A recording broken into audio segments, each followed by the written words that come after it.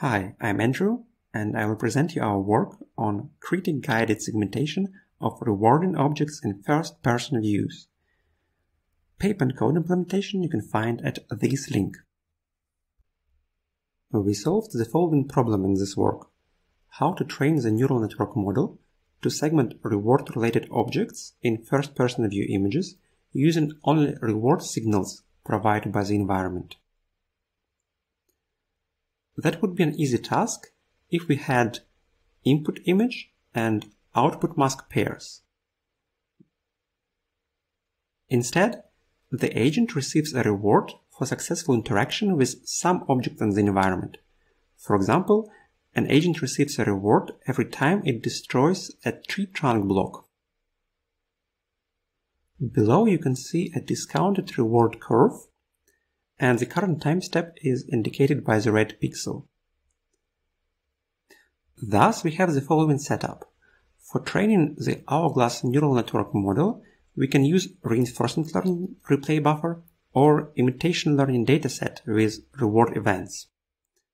Using these two sources of information, images and reward events, we need to train an hourglass model to segment reward related objects uh, in input images.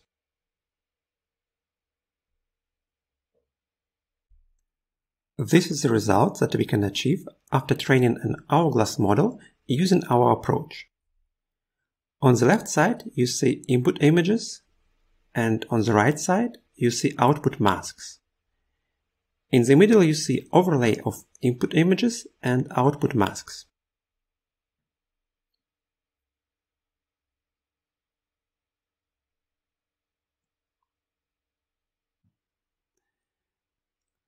Our approach consists of two training phases.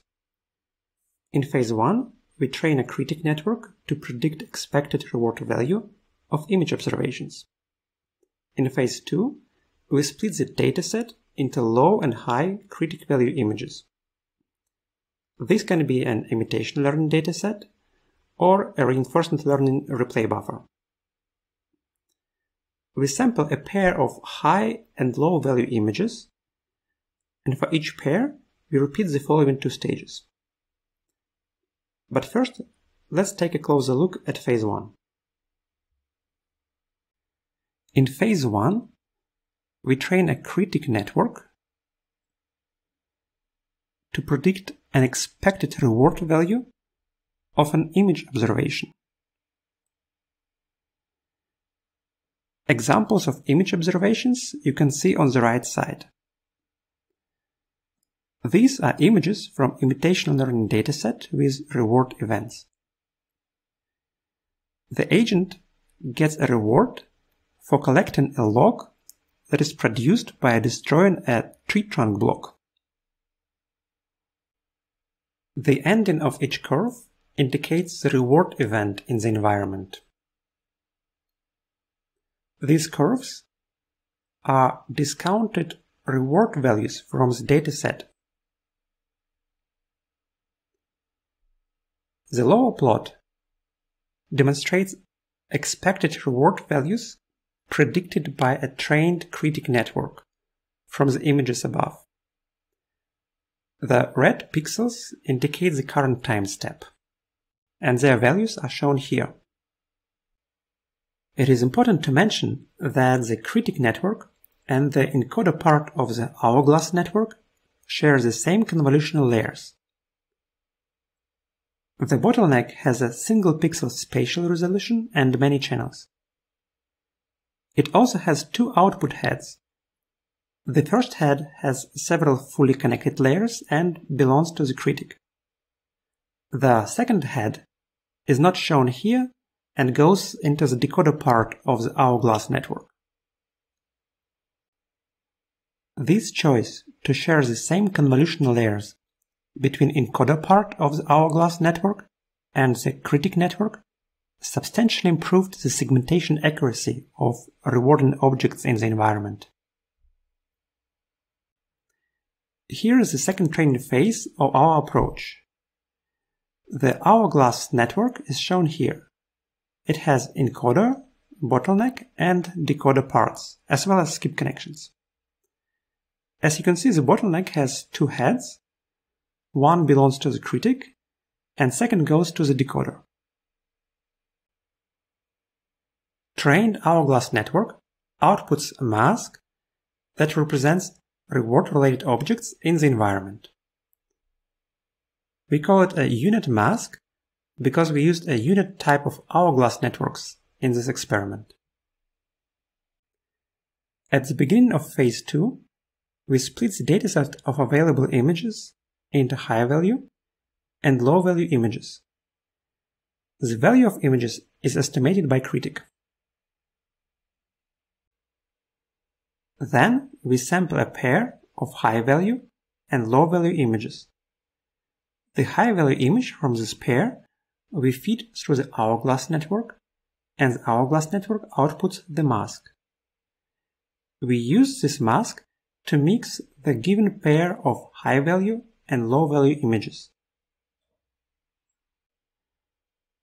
The idea behind mixing is as follows.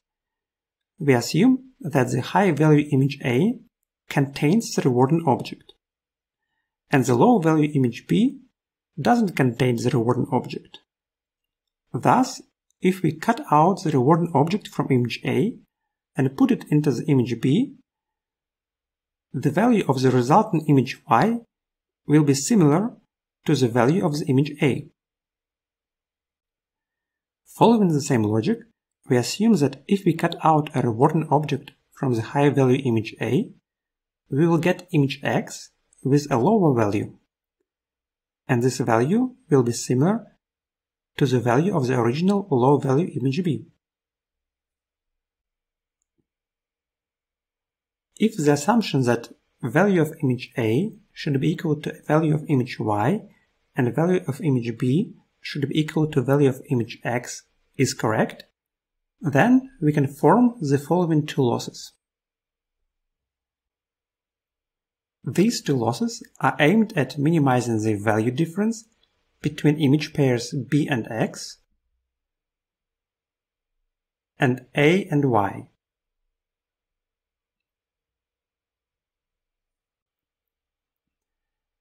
And following our previous assumptions, the pivotal component to minimize these losses is the mixing mask produced by the hourglass network from the input high value image.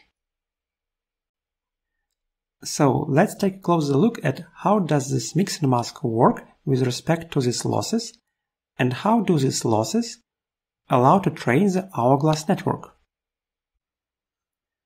For that, let's take a minimal example.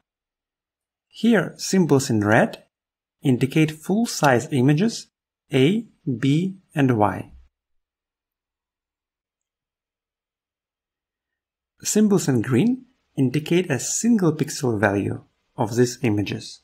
For example, it can be a top left pixel in image A, image B, mask, and image Y. Thus, we have that a top left pixel value of image A is equal to 0.2, image B 0.6, mask 0.5, and image Y 0.4. Now, we take the full image A as an input of the critic and critic produces value 0.9. Next, we take image Y as an input of the critic and critic produces the value 0.7.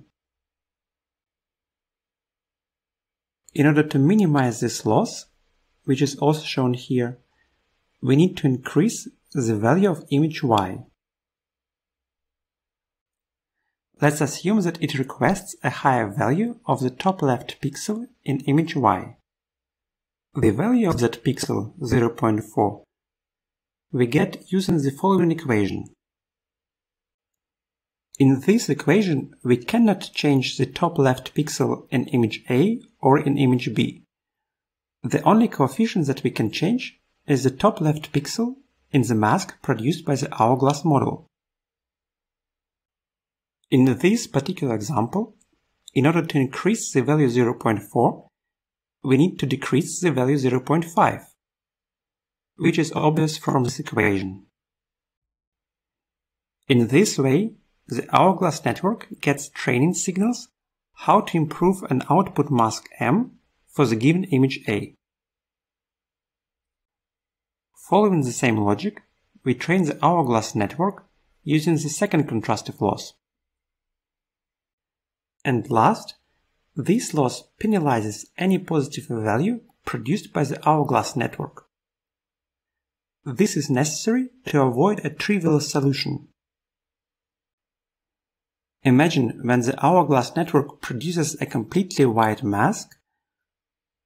Following this equation, we just copy-paste a complete image A into the image Y and complete image B into the image X, which results into a zero loss for these two contrastive losses. Thus, using these losses, we can train an hourglass network to highlight rewarding objects in first-person views. So, as an outline for the training phase 2, first we split the dataset into low and high critic value images. Then we use the hourglass model to generate a mask for the high critic value image. We merge the high critic value image with low critic value image based on the mask from stage 1. We reduce the critics value of the merged image by training the hourglass model to optimize with gradients the merge mask for the pair of high and low value images. And we repeat this many times. We also conducted a number of additional experiments. Results of some of them you can see here. In the first column you can see input images. In the second column there are ground truth masks of the tree trunks in the environment we were able to obtain these ground truth masks by substituting a texture pack in the environment, where all tree trunks had a unique color. The output masks of a trained hourglass network are shown here.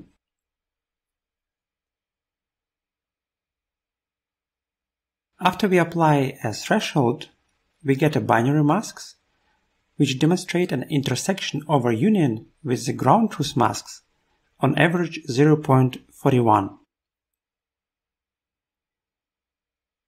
We were able to improve this value by applying a conditional random field technique at every frame. With this technique, we were able to obtain an intersection over union value 0.45. On the right side, you can see our experiments with salience maps. In these experiments, we used only critic network, without hourglass network. Salience map allows to highlight pixels which have the biggest influence on critic. However, these experiments didn't bring us any useful outcome. The upper row demonstrates masks produced by different techniques. The lower row demonstrates true positive, false negative, false positive, and true negative parts of these masks with respect to the ground truth mask. You can find more information about details of these experiments in the paper. Paper and code implementation you can find at this link. Thanks for your attention.